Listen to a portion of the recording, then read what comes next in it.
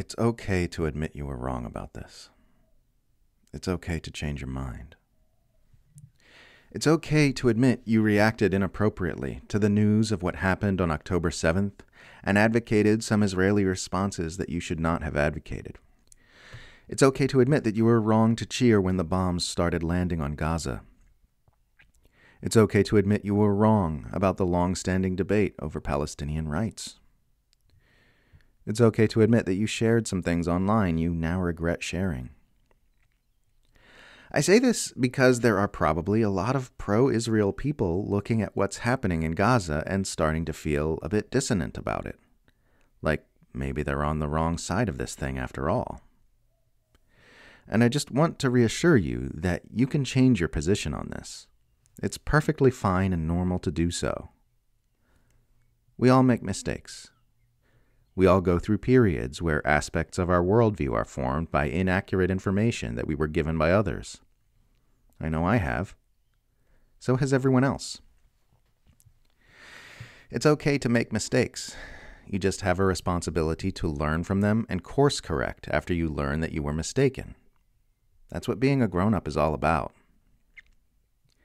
You don't have to make a big public show of admitting you were wrong if you don't want to.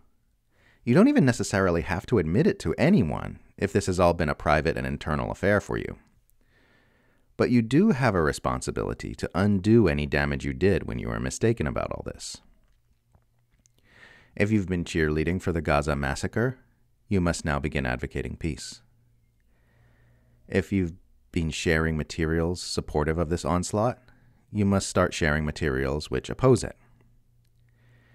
If you taught your children or any young, impressionable people who look up to you to support what Israel is doing, you must now teach them the opposite.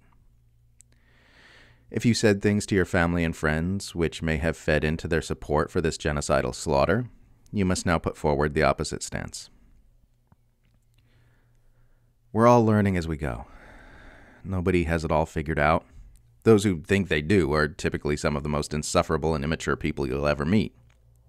It's fine to make mistakes, and it's fine to turn around once we recognize our error.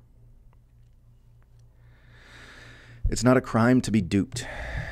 It's not evil to have been deceived. It would only be morally wrong if you kept persisting in your wrongness after you figured out that you are wrong.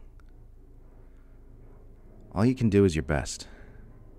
But you can't honestly tell yourself that you are doing your best if you've got a nagging feeling inside that you're getting this one wrong and yet do nothing to address it with honesty and integrity.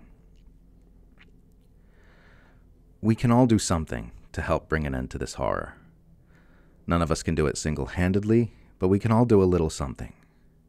Speak out in every medium you have access to, attend demonstrations, talk to your friends and loved ones, and help open as many eyes as possible to the reality of what's happening.